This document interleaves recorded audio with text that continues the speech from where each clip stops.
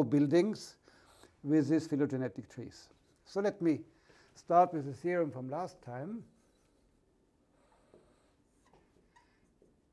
Every phylogenetic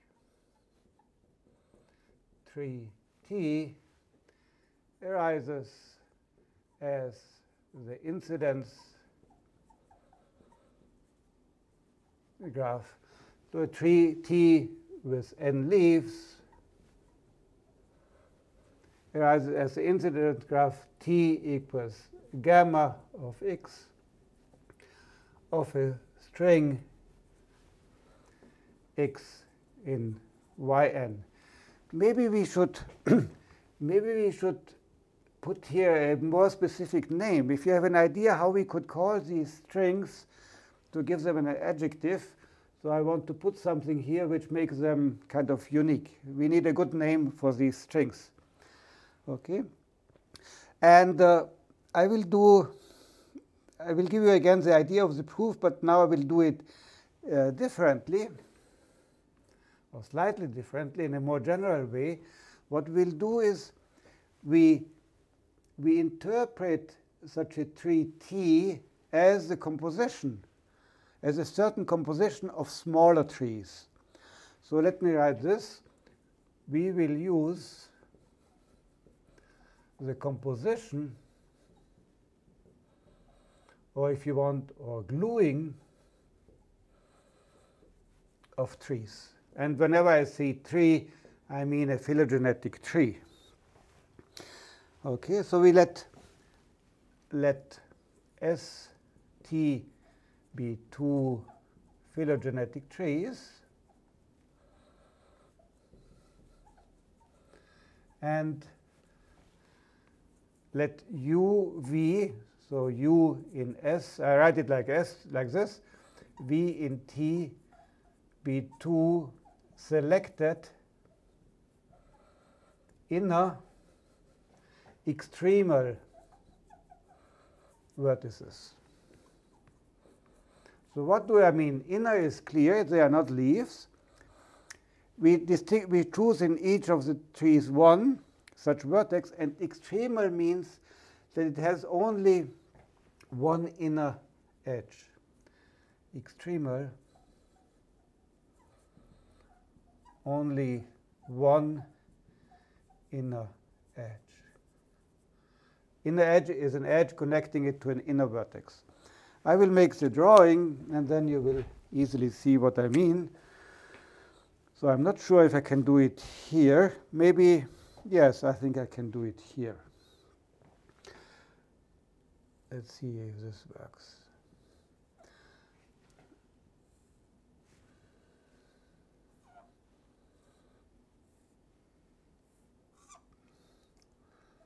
My blue. Blue are the inner vertices. And this one will be here my u. And then we will have a couple of leaves here, which I draw in yellow or orange. So I, we have always at least two. And maybe we have something here, I don't care. And then we have the neighbor. This will, so this was S. So this pen is already running out of liquid. Let me try with this one. Yeah, this looks to be better. So again, maybe we have something like this. Doesn't matter too much how it looks over here. This will be our vertex V. This will be T. And then you already see you cannot avoid to glue these two. Here we have the, assume that we have here just two leaves.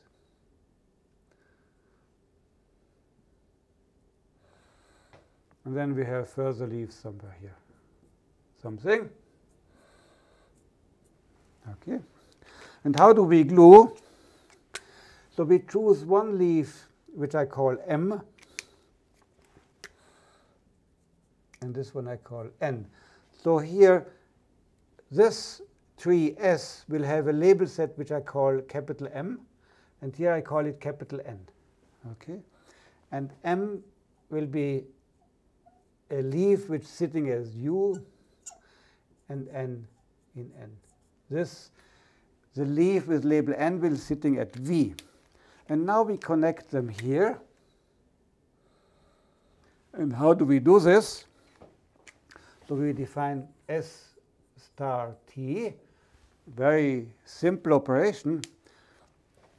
We replace these two edges here by just one blue edge. So maybe I write it here. Uh, da, dee, da, da. Let's try in red. So I don't have to draw the whole graph again. So we eliminate these two, and then we build a bridge here. This is a new edge.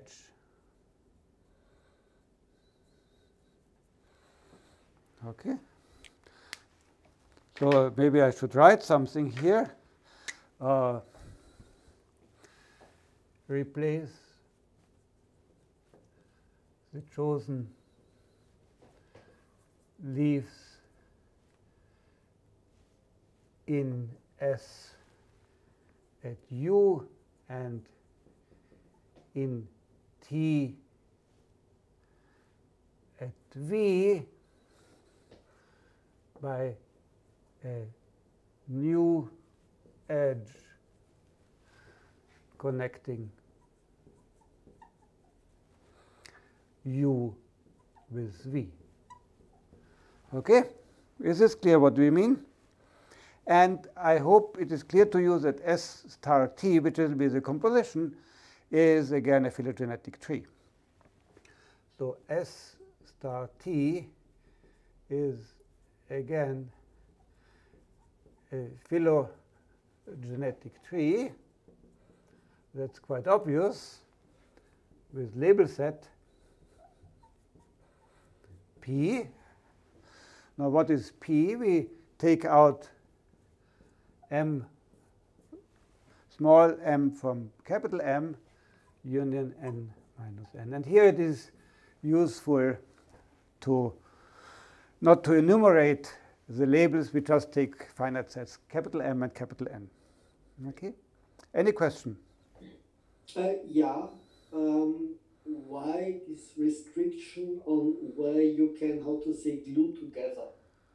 Why you don't take inner vertices and, and uh, glue them like to extremal ones, for example? Because it works. That's not a good answer, but actually what is behind here is that we represent our space script yn, this space here, will be represented as a fiber product. Yeah, what is behind. So if I write now y capital M to indicate the label set, okay, and if we take y capital N, then we have a kind of fiber product. So this is not the usual Cartesian product, but the fiber product uh, above something which I don't want to specify. So maybe in quotation marks. And this will be then isomorphic to yp. This will appear in more detail in the notes. Okay? And that's precisely the construction which works. Okay? And of course, what is clear that the cardinality of p is larger than the cardinality of m and the cardinality of n, so we can apply induction. Okay?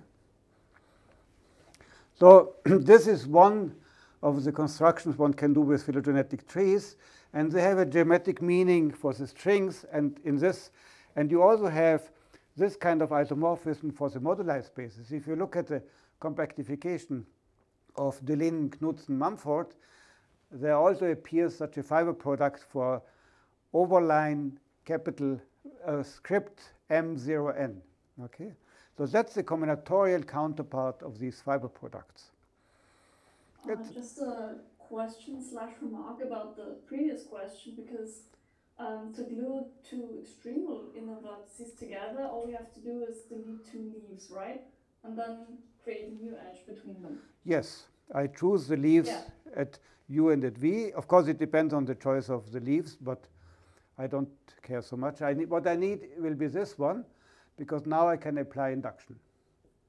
Yes, and if we tried gluing together a non-extremal inner vertex with an extremal inner vertex, this construction wouldn't work because you need to delete part of the inner graph. Yes. And that might present some problems. So maybe that's another reason why you don't do it. Yes, it's and I. Really yes, yes. it's a little bit complicated to explain, but if you you can think at it at home, and you will see that that's the good way to do it, and you don't do it at a at a vertex which is not extremal. Okay.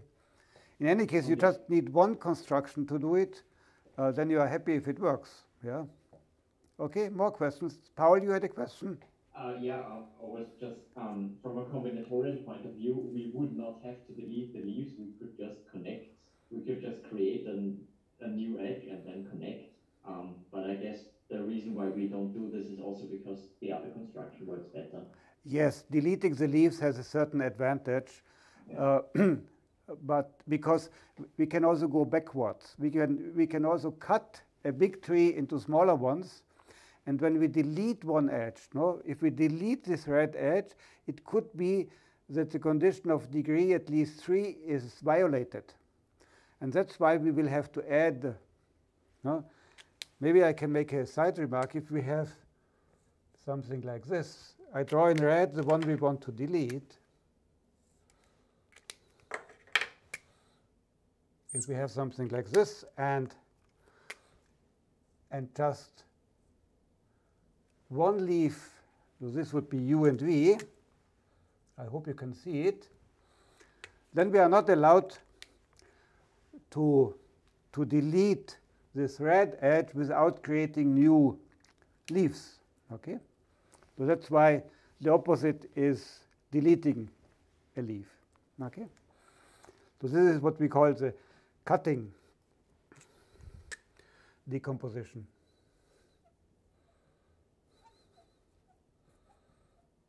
you delete this one. Okay? So by induction,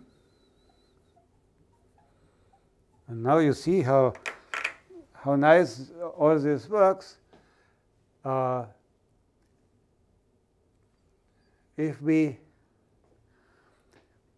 we assume that for m and n and the trees s and t, we can already find our our strings.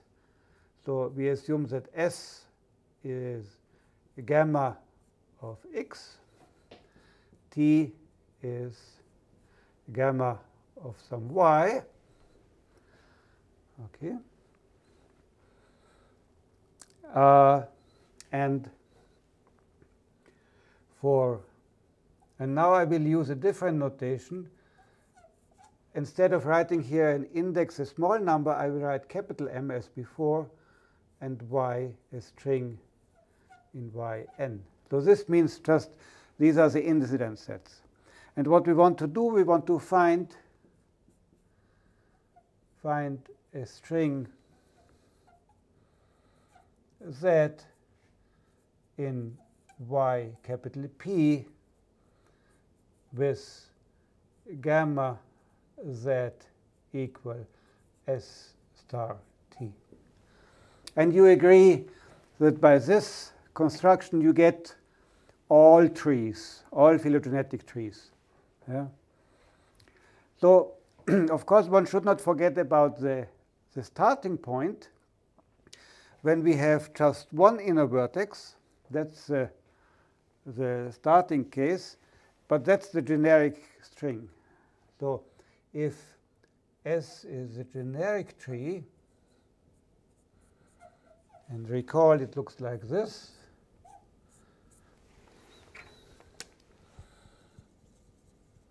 then we know we know what x is. It's it's just a generic string. Okay? Harry. Yes. Uh, sorry, once more. I forgot the definition of generic string. The generic string is you take an n-gon x equals x1 up to xn in p1 n, and the condition is that the entries are pairwise distinct. That's what is a generic n-gon. And then you send it to the string x, which is just the symmetrization of x. Okay, so where you take all, I don't repeat what this was, this was a symmetrization.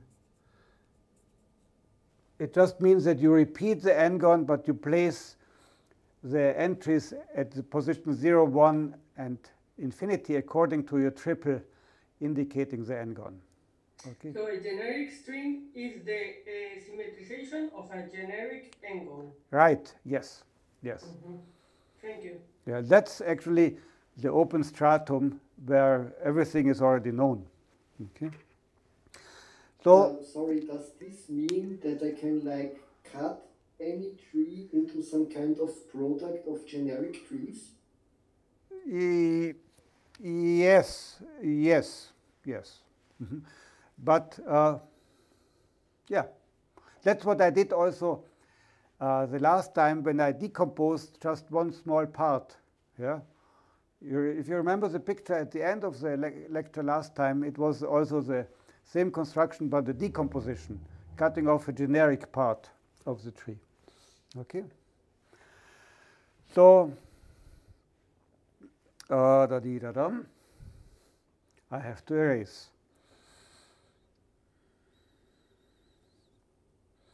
So now we let me come back here. You can see here. So we have x and we have y, and we want to construct a z which has now many more components.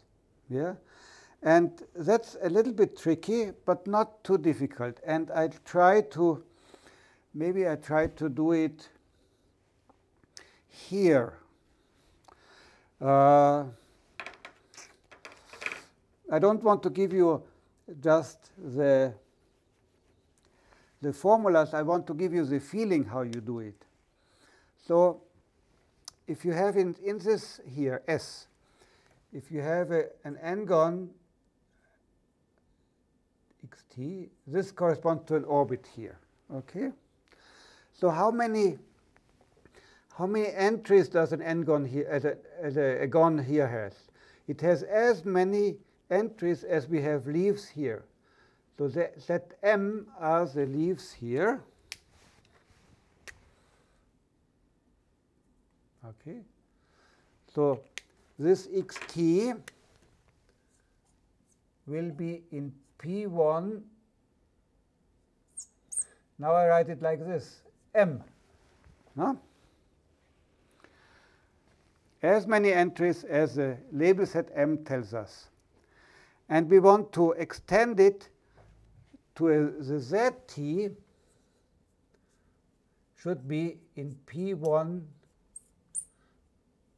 P. So we need many more entries. But at the end, we know how this graph will look like, and it's rather easy.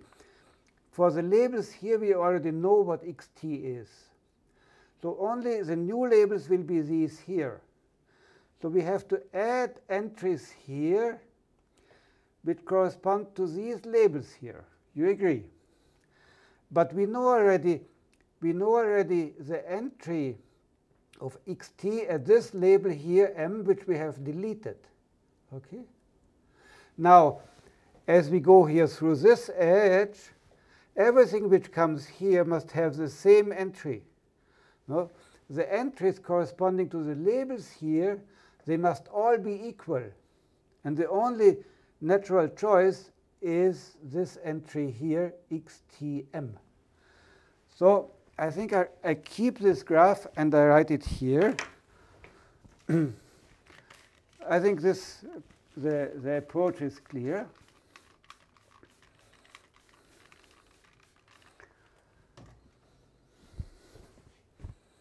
Oh, where do I have my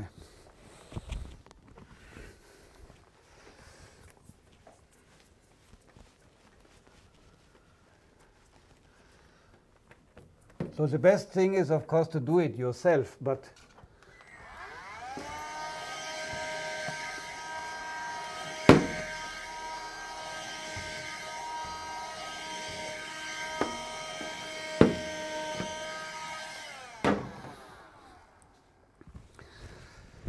So let me write this down.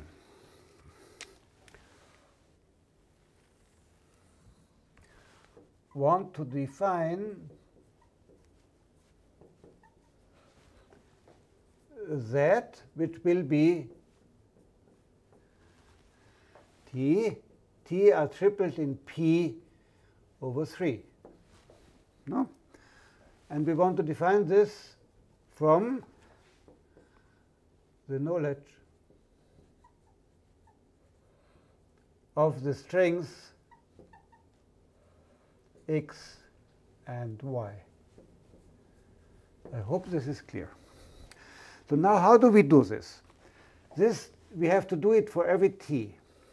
And here, t may have different locations inside p. t will be a triple in p. t is i, j, k triple in p. And recall p was m minus m union n minus n. Okay. So it could be that t is entirely in m minus m. That's the first case. So if t already belongs to m minus m3, so this would correspond to a vertex here, yeah, then we put that, now I have to be careful, zti will be defined xti as long as i is in m minus m. No? These zti correspond to labels which are here, except this one. And if i is not one of these, so if i is over here, if i is in n minus n, recall that small m and small n do not exist anymore, it will be constant zit. For all i, it is constant. And the only choice will be x tm. Okay. That's the definition. Now, of course, the situation is symmetric. If t in n minus n over 3, symmetric definition,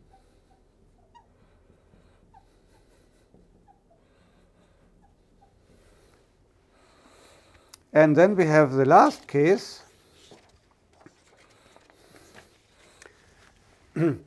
so we did this one, and corresponding t inside here corresponds that we are not u. We are not at u. So the last case is if t is not in m minus m over 3 union n minus n over 3.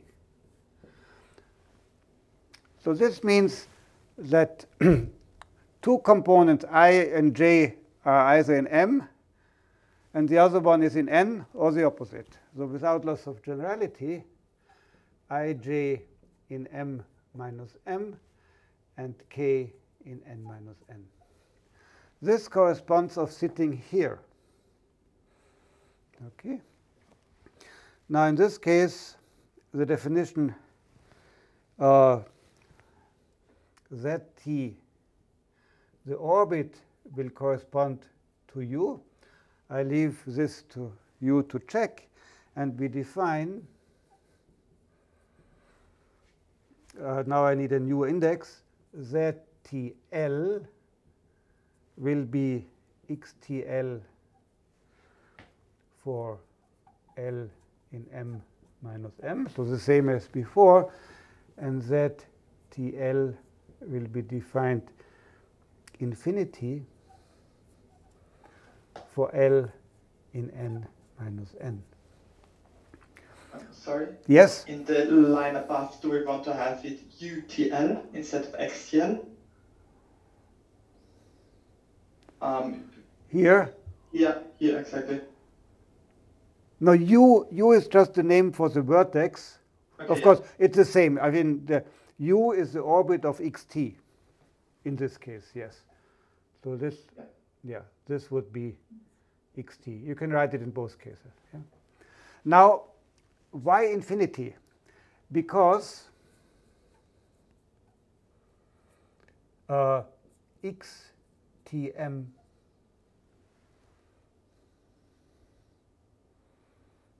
Do I saying nonsense? I think I wanted to leave to you.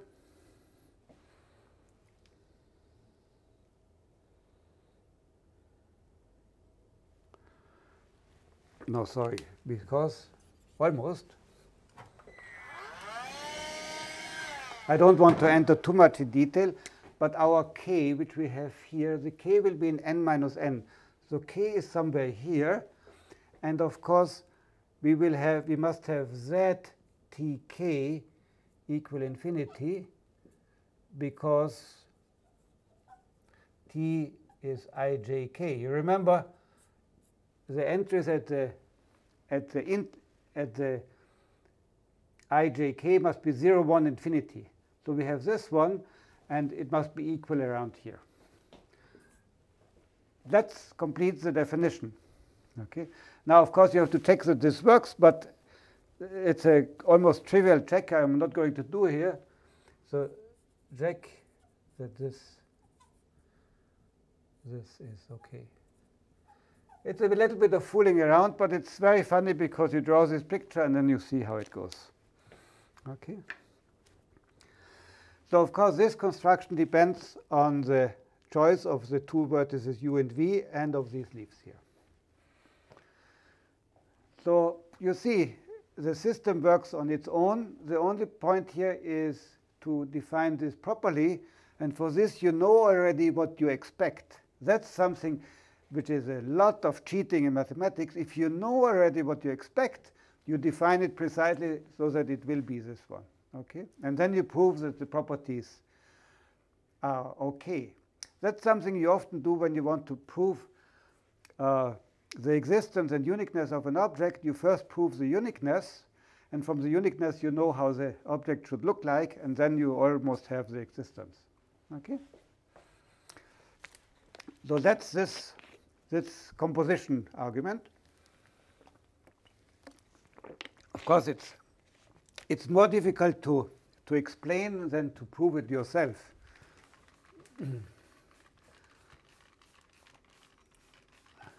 so what I want to do today is,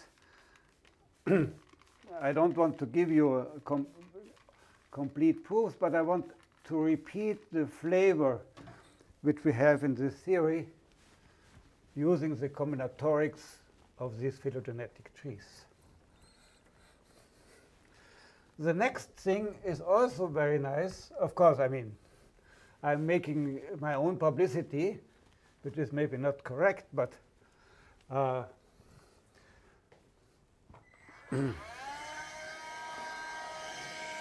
so I, I emphasize that many of the ideas and constructions I'm presenting here are not mine.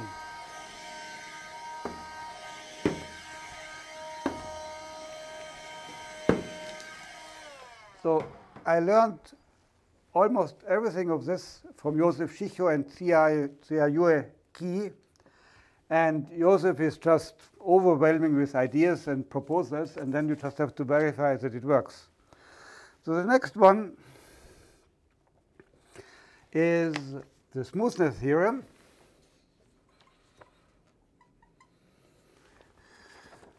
The variety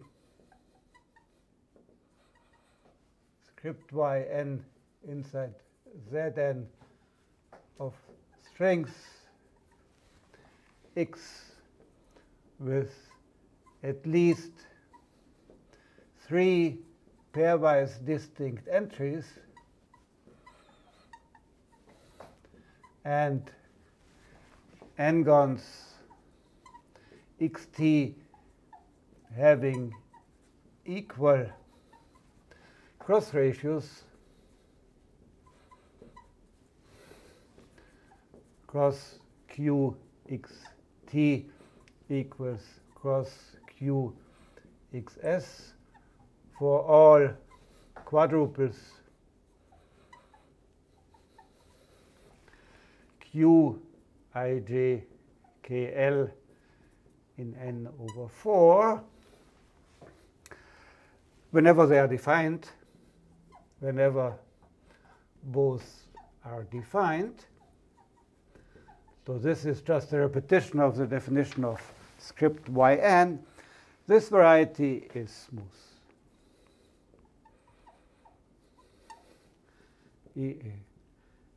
a manifold of dimension n minus 3. It's also irreducible, but we don't prove this at the moment. So that's uh, one of the results of Mumford-Knudsen.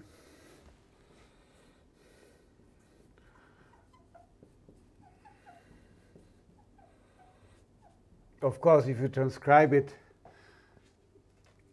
for m0 n bar, which will be shown to be isomorphic to our yn.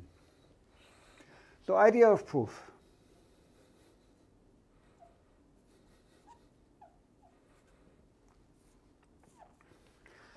So remember that we had, uh, let me say something about the dimension. Uh, we had m0n sitting inside yn yeah, via symmetrization. And this has dimension uh, n minus 3 because if you have an n-gon x,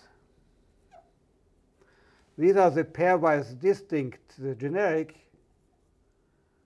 generic entries. Then up to PGL2, you can bring this x is equivalent to 0, 1, infinity, x4 up to xn. And here you see that this belongs to p1 n minus 3. Okay. So if you take the orbit, it will be this. This is a space of orbits of generic n-gons. You will have dimension n minus 3. So of course, we what we know is that m0 n bar. No, maybe I should not write it like this, but uh, we expect yn to have dimension n minus 3 because yn should be equal to the Zariski closure uh, xn later, and this will be in March, xn equal yn, but this is the Zariski closure of Vn, Vn was defined uh, as the image of under symmetrization of this one here, and this is of dimension n minus 3. So it's good to know the dimension, even though without proving it at the beginning, because we know where we will go with our charts. Therefore, our charts to prove that yn is a manifold should go to a n minus 3 k. Now here I'm over an arbitrary field, let's say, of characteristic 0. So I think my uh, pen is not working well. Let me just take a minute to get a better one.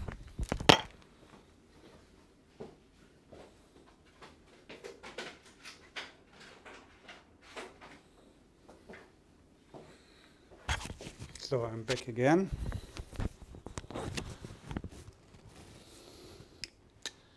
So let me draw a picture.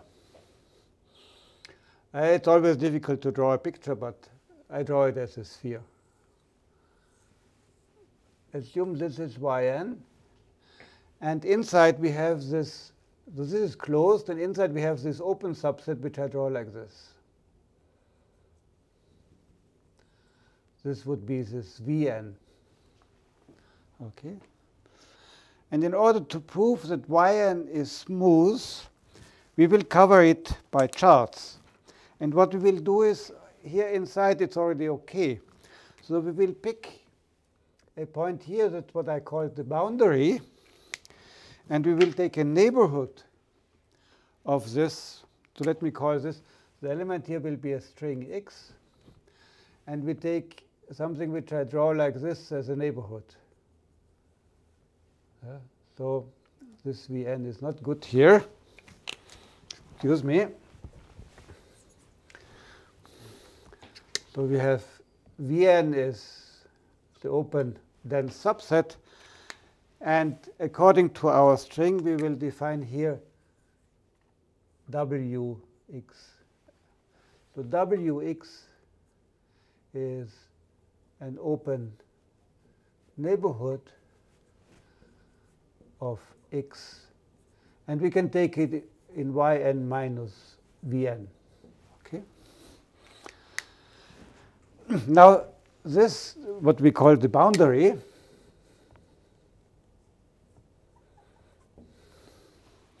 these are the strings which are not generic. Inside here, in Vn, we will have the generic one, and in the boundary, we have non-generic ones. But you can be more or less generic. So the idea here is choose x in yn minus vn. I don't know how to call it, as specific or as little generic as possible. I will specify in a moment what I mean. and then we will define the neighborhood Wx. If the union of the Wx covers the whole Yn, we'll be done. Define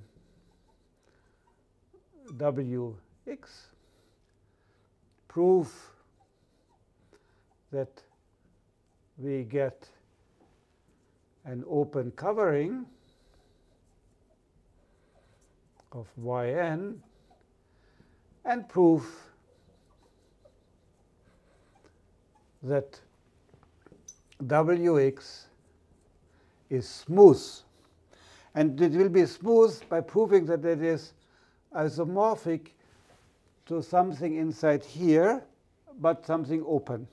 So actually, it will be, let me write it like this, k star n minus 3. So this is just uh, a, I don't know how to write it, a1 minus 0 over k n minus 3. So we take out uh, 0 from the line, and then we take the n-fold Cartesian product. So that's just the complement of the coordinate axis of the coordinate hyperplanes in a1 to the n minus 3. This is sitting in a n minus 3. Okay. So I'm not sure if I will make a break here. I think we can continue because it's the last section and it is, uh, we are just in the mood of continuing. So I learned this again from Josef Schicho and from Jiayue Qi. So you, what does it mean to be as little generic as possible? So I will call, I will say x is called extremal, and this will be here the new word for a little generic.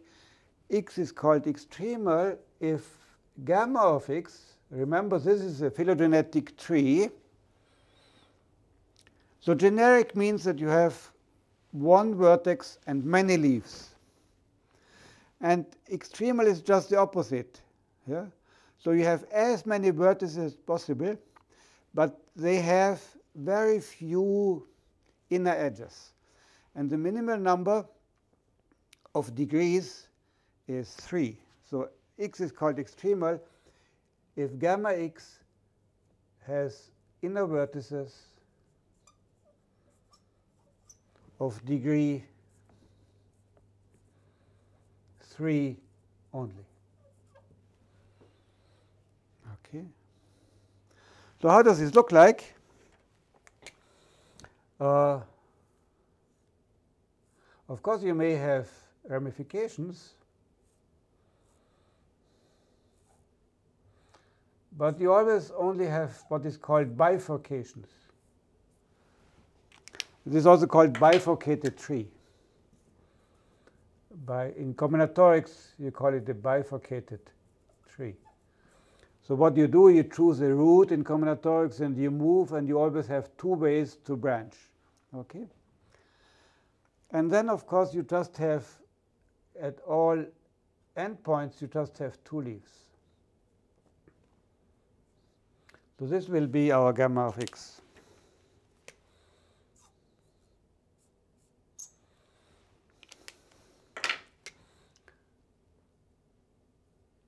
We are not allowed to add here a leaf inside or to add a further edge.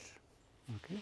So every every vertex is trivalent in Yes, you call it also trivalent, trivalent. Mm-hmm. trivalent vertices. Yeah. Some people call it valence, some people call it degree. I don't know. Yes. And now, now you can guess something. Let us do a short guess.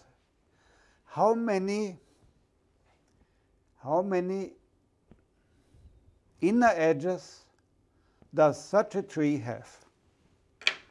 Don't think about it before you answer so we can, everybody can think about it. Or maybe you write it in the chat. That's maybe a good way to have a short break. Write your answer in the chat. How many edges does an extremal tree have?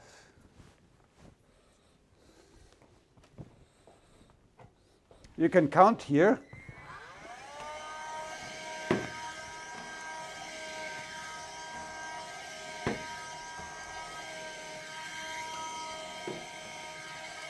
Hmm. Not too much response yet. So let's do a count in the example, and then we might guess it. So we have 2, 4, 6, 8, 10, 12, 14, 16 leaves. This is n.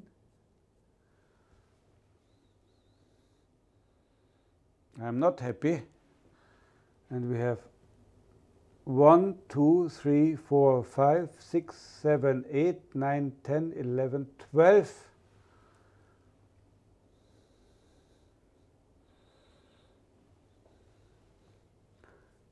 Twelve edges. Thirteen edges? Yes, I'm confused. Let me, 1, 2, 3, 4, 5, 6, 7, 8, 9, 10, 11. Oh yeah, this was a big shock. 13. And this is, of course, n minus 3. Okay? So answer by exercise. You do one example and then you believe it. We have n minus 3 edges in such a tree. Okay? Now, here we need the chart maps. Chart maps have should go to n minus 3, so they should have n minus 3 components. Okay? So what we do now is the following.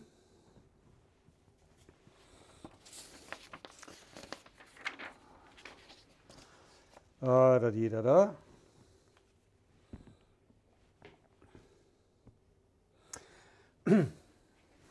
we define first our neighborhood Wx. That's definition of neighborhood x of x. This goes as follows.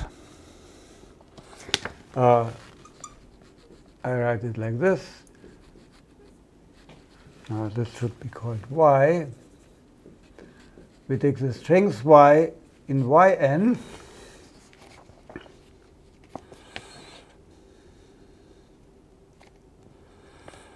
Now I have to write a whole sentence.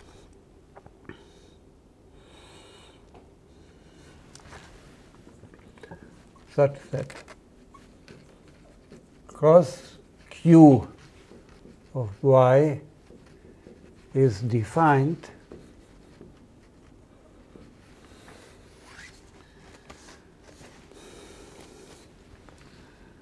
and different 0 and different infinity for all quadruples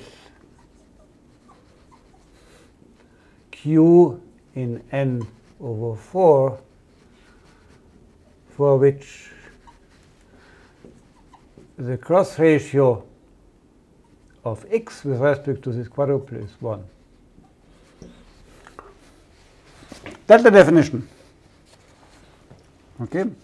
It works and it will be an open neighborhood. This has to be proven. I'm not going to do it now. Okay. Uh, why is it open? Because it's given by inequalities. The cross ratio is continuous, so this will be in yn open because cross ratio are continuous. So it's a precise definition, but we don't understand it. We don't care. Yeah, I just want to give you the main input. So now we will do the following. Uh, I think I have to draw. I have to draw my graph again. Or maybe I can do it here. If you allow me, I do it here. We choose now choose for every inner edge E of gamma of x. So let's, for instance, take this one here, E. Maybe I should write it in blue. We do the following construction. Uh, for every perform labels ijkl in n over 4 as follows. That's now a funny construction. We delete the edge E, delete E from gamma x together with its two endpoints. So let me draw this for this graph here. We get something like this.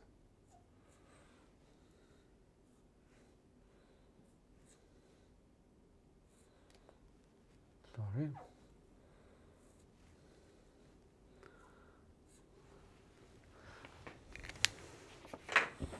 And here we have our leaves. So we get, now this, we get four connected components. We get four connected graphs. And uh, what we do to get these labels ijkl, I repeat, the labels will be attached to the leaves, we take in each component, here for instance, we take the label with the smallest value. So uh, let me write it here, i, j, k, l. In each component, take the smallest label. So this will define a quadruple up to permutation, but you can make this precise. Q equals ij kl. And this Q will depend on E. This is an E, because it corresponds to the deletion of E. You agree? now you may ask how you order these here. Uh, you can order them increasingly to make them unique. Okay. So we have defined quadruples. Now we define our chart maps.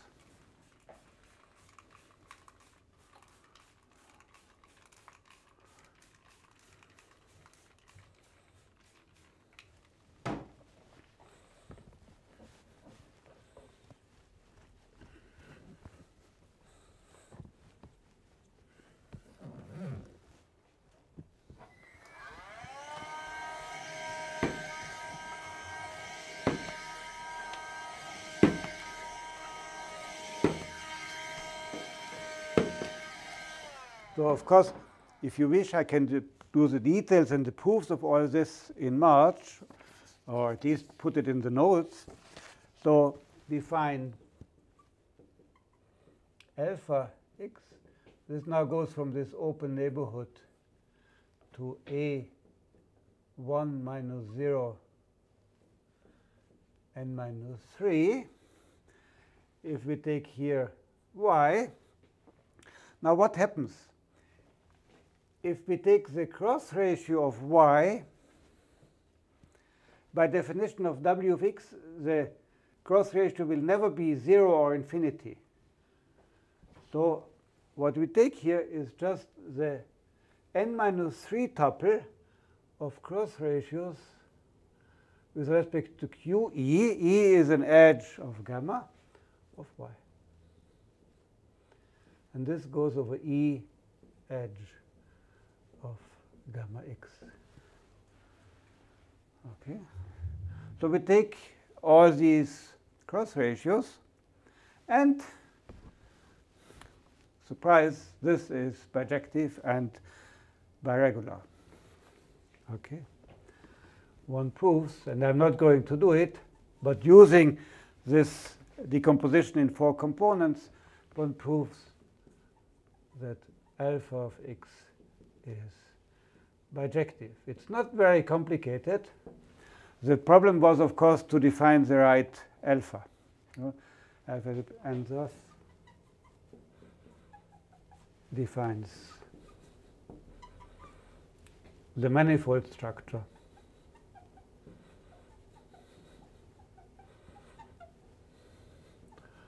on yn equals the union of all these wx x extremal. Okay. I think that's nice, even though you have to dig into the proof, but it's half a page to write down the details. And you see that, again, it's very much inspired by these trees. Any questions for this? This is the smoothness. If there are no questions, I want to use the last 20 minutes or 25 minutes to come back to the stable curves. Okay. Uh, this is something uh, which relates really this theory to the theory of Deligne, uh, Knudsen, and Mumford. Okay. So I can erase here already.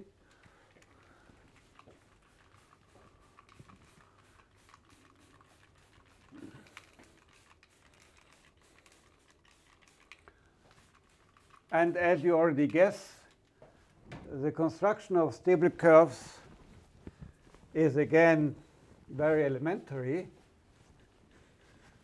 And uh,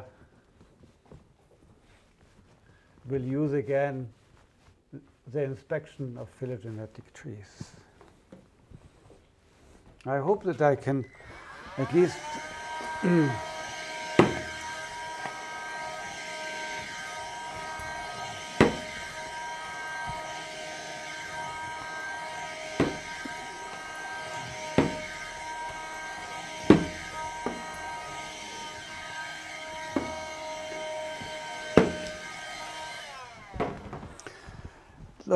don't have time to give you a complete picture of this, but at least the main idea, reconstruction of n-pointed stable curves from strings. So let me recall that the notion of n-pointed stable curves was a big step in the theory of moduli, yeah, because these n-pointed stable curves are precisely the object where you find a nice moduli space. Okay. Now, I will do the opposite, not knowing anything about n-pointed stable curves. We will look at the construction, and they will pop up on their own. Okay, and this goes as follows. Uh, consider the forgetful map pi, we could also call it a projection. We go, now we take a larger label set with one label more, and we go down to yn. And how do we do this? Now, it is just forgetting everything which is related to n plus 1 as the composition. So recall, this is sitting, yn is sitting inside p to the p1 to the n times n choose 3. So we take p1. Now this one is sitting in n plus 1, n plus 1 choose 3. And the first thing is, so we, here we have n plus 1 gons. What we do is, by, from these n plus 1 gons, we cut off the last entry. So we get to p1 n times n plus 1, 3. Uh, so this cut off last entry in each n plus 1 gon. Just forget it. So then we will get a bunch of n-gons here, but we get too many because we have, of course, more triples than before. So the next, we take, we forget all those triples which involve t plus 1. So we take p1 n n plus 1, 3 going to P1 n n 2, 3. And here we forget all n-gons whose triple is not in n over 3. So this means the triple ijk yeah, involves either i or j or k is n plus 1, e.g. k equals n plus 1. So this gives this projection map. Okay, It's just forgetting everything which has to do with n plus 1. Do you agree? Now, I have to take some water.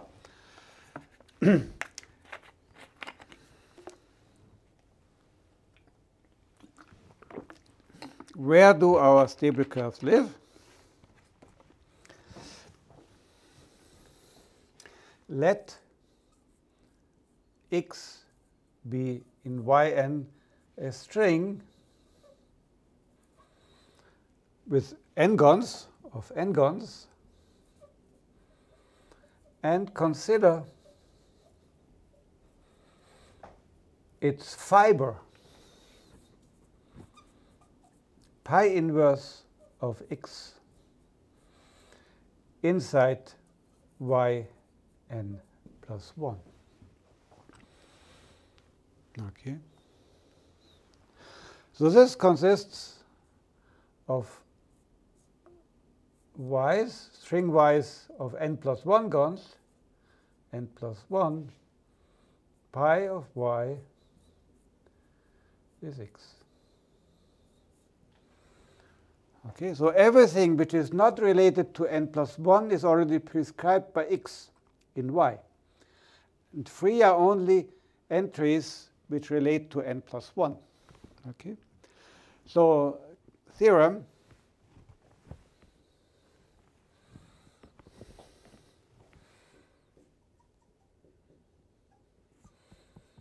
for all x the fiber pi inverse of x is a stable curve. Recall, stable curve means something like this.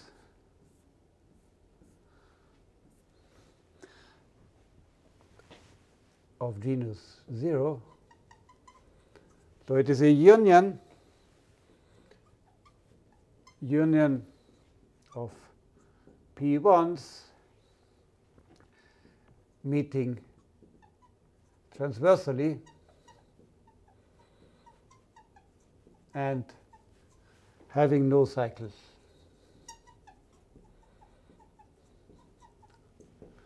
Okay.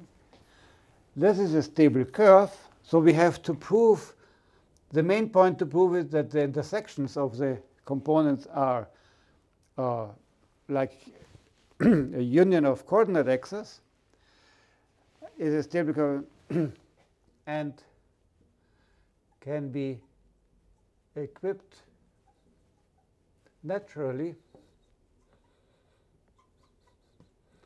with n marked points p1 up to pn given by n disjoint sections sigma c from yn to yn plus 1, and they are indexed for c in n. For each label, we get a section. Yeah. So that's the result. And uh, I have 15 minutes. So the only thing I'm going to do is to show uh, why we get this kind of transversality. Okay. So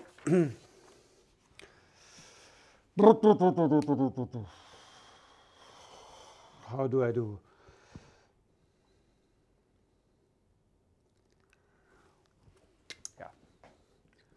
Proof of transversality.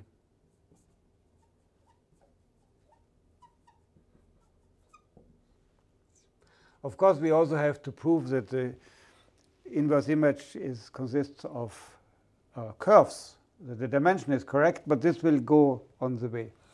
So we write the label set here, uh, which I would call maybe write n plus 1, this is the label set here, as n union A, and A is a new label. So if you have a y, if y is an n plus 1 gon, then y will be y 1 up to yn, and then we have ya to distinguish the last one. Okay? And of course, if now pi of a string y is equal to x, and uh, y is an n plus 1 gon of the string y, then we will have uh, these components here. Now it depends. Let me write it like this. Let me write y equals yt t in n plus 1 over 3. I hope you understand my terminology. And we assume that pi of y is x. So what happens? If our triple t involves a, if a, let me write it like this, appears in t, t is a triple, then under pi, this n plus 1 gon is thrown away. Yeah? So it's kind of free. Uh, we forget about it in the projection. And actually, that's a case where, which is not so interesting, so I skip it. Uh, if a and t, yt is not interesting. That's not completely true, but not for today because we don't have too much time.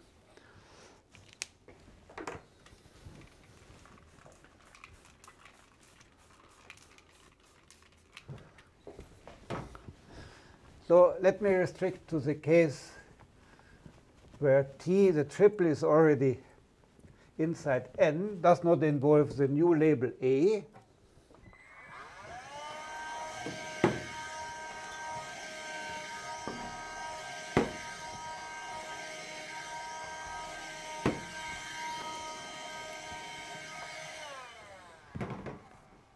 If A is not in T, then yt, now it will project to xt, so it will be xt1, xt2 up to xtn. That's prescribed by the projection. And only the last one, A, is free. Okay. This will be now in P1 n plus 1. So we want to find equations only for these YAT. Okay. so what is the condition now to be in yn plus 1? Y, so this is already, the condition here is already that it maps down to x y and yn, the condition, as always, is that the cross ratios are equal. Cross q yt, or ys maybe, ys equals cross q yt for all quadruples in n plus 1 4 for which they are defined whenever defined. And I will write down these equations. So the cross ratios, they look like now using this one here, we let write take I take a special one where you see nicely what is happening. Q is I J L A for, hold on a second, da da da da.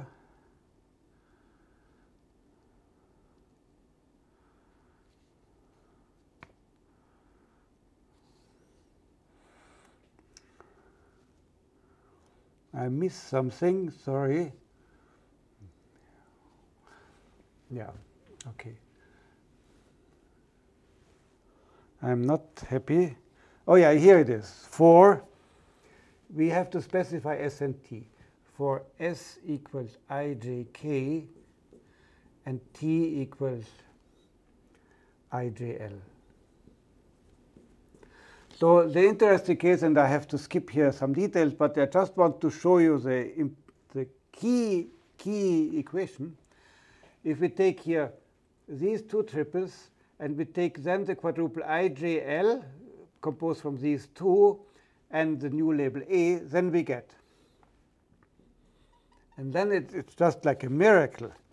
The condition of the equality of cross ratios, recall that we have written them like this, x as i, x as j, x as l, y as a, must be equal to the same with t, xit, xjt, xlt yta. So this is equivalent. Now you just plug it in, and you get lengthy xis minus xsl x as j minus ysa. You don't have to copy. You will get it in the notes. Then times from here we get xit minus yt a xjt minus xlt. And this must be equal to the same with the role exchanged, x minus y as a, x as j minus x l, xit minus xlt, xjt minus yta which is equivalent. Now we use we use that S is ijk. So this one here, this guy is 0. This guy is 1. This guy we don't know anything, but here we know even more. This one is 0, this one is 1, this one is infinity. And we want to get equations for ys and y, yta. So we plug this in, and so it is equivalent to 0 minus xs L 1 minus y as a, 0 minus y t a, 1 minus infinity equal. You see, it's uh, just to compute 1 minus x as L, 0 minus infinity, 1 minus y t a. Now, recall our rule of algebraic operations in P1. This minus infinity will cancel with this one. Yeah, you have to take care, but this will cancel. And you get the following. x as L, 1 minus y as A, 0 minus yta equals ysa times 1 minus x as l, 1 minus yta. You simplify, and now I was very impressed when I got this. You end up with ysa times yta. Recall that in our chart, the YAS and YTA are our variables, and the x's are constants. So we get the product is equal to 1 minus XSL. Now, this is a constant.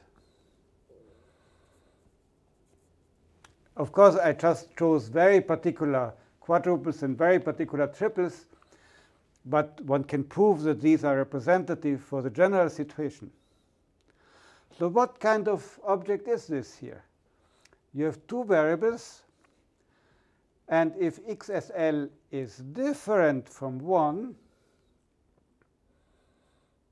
then you get a hyperbola. Intersection of if this is different from 1, you get hyperbola. Okay, and if x as L equals 1, you get two coordinate axes, union of coordinate axes. And that's precisely transversality. So you see, it, it falls from the sky. You just compute and you get precisely the stable curves. Okay? I don't tell you how you get the sections. That's similarly easy.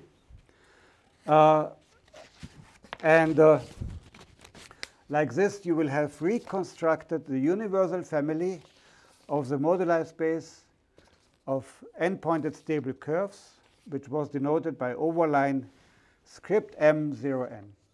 Okay. So excuse me if I got a little bit enthusiastic about all this. Uh, it's also the way of presenting this material here.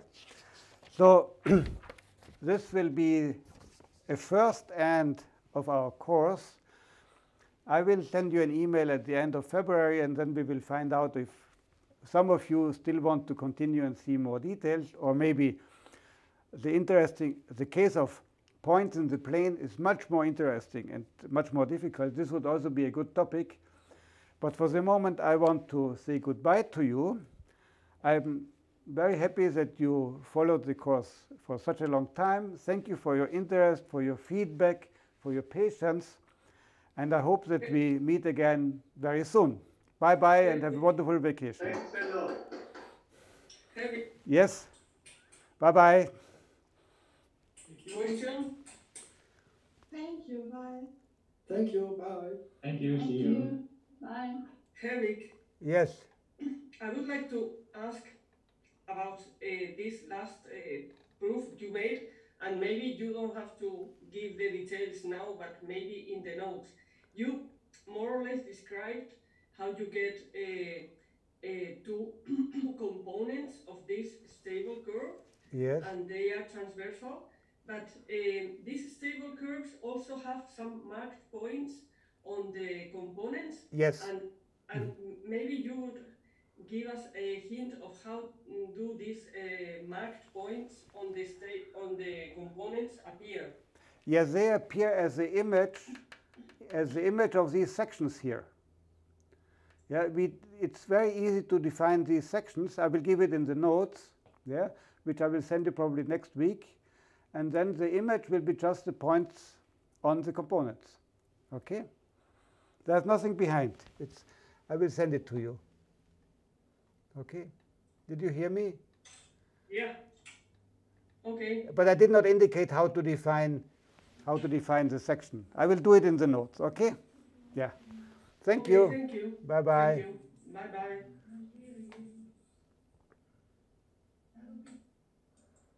Thank you. Bye bye.